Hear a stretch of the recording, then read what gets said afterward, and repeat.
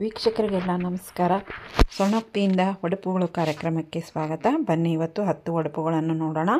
ಮೊದಲನೆಯ ಒಡಪು, ರಾಮಾಯಣವನ್ನು ಬರೆದವರು ವಾಲ್ಮೀಕಿ, ಗಣಪತಿಗೆ ಪ್ರಿಯವಾದುದು ಕರಿಕಿ, ನಮ್ಮವರು ಇದ್ದಾರ ಬಹಳ ಬೆರಿಕಿ.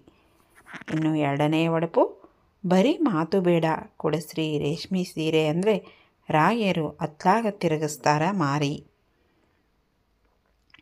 ಮೂರನೇ ಒಡಪು ರಾವಣನ ಇನ್ನೊಂದು ಹೆಸರು ದಶಕಂಠ.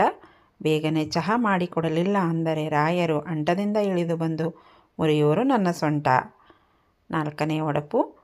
ಅತ್ತಿ ಹೆಸರು ಅರಳಿ ಮರ ಮಾವಿನ ಹೆಸರು ಮಾವಿನ ಮರ. ನನ್ನ ಹೆಸರು ತೆಂಗಿನ ಮರ. ತೆಂಗಿನ ಮರದ ಸುತ್ತ ಸುಳಿದಾಡುತ್ತಾರ ರಾಯರು.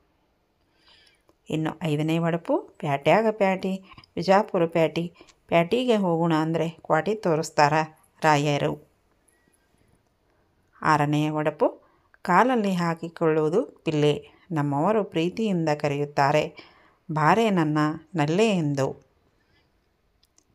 ಏಳನೆಯ ಒಡಪು, ಲಕ್ಷ್ಮಿ ಕೈಯಲ್ಲಿರುವುದು ಕಮಲ, ಸರಸ್ವತಿ ಕೈಯಲ್ಲಿರುವುದು ವೀಣೆ, ನಮ್ಮವರ ಕೈಯಲ್ಲಿ ಇರುವುದು ಕೀಲಿಮಣೆ ಅಂದರೆ ಕಂಪ್ಯೂಟರ್. ಎಂಟನೇ ಒಡಪು, ಪಾಂಡವರು ಕರೋರೊಂದಿಗೆ ಹದಿನೆಂಟು ದಿವಸ ಯುದ್ಧ ಮಾಡಿ ರಾಜ್ಯವನ್ನು ಗೆದ್ದರು. ರಾಯರು ಮೊದಲ ನೋಟದಲ್ಲೇ ನನ್ನ ಮನಸ್ಸನ್ನು ಕದ್ದರು.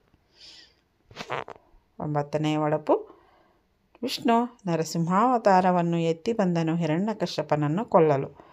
ಮದುವೆಯಾಗಿ ಬಂದರು ರಾಯರು ನನ್ನ ಮನಸ್ಸನ್ನು ಗೆಲ್ಲಲು. ಹತ್ತನೇ ಒಡಪು ಕೊನೆಯ ಒಡಪು ರಘುವಂಶದ ರಾಜ ರಾಮ, ಕೃಷ್ಣನ ಇನ್ನೊಂದು ಹೆಸರು ಶ್ಯಾಮ. ರಾಯರಿಗೆ ನಾ ಮಾಡುವೆ ಪ್ರಣಾಮ. ನೋಡಿದ್ರಲ್ಲ ಸ್ನೇಹಿತರೆ, ಇವತ್ತಿನ ಒಡಪಿನ ಕಾರ್ಯಕ್ರಮ ಹೇಗನ್ನಿಸ್ತು ಇಷ್ಟ ಆದರೆ ಗೊತ್ತಲ್ವಾ? ಲೈಕ್ ಮಾಡಬೇಕು, ಶೇರ್ ಮಾಡಬೇಕು, ಕಮೆಂಟ್ ಮಾಡಬೇಕು.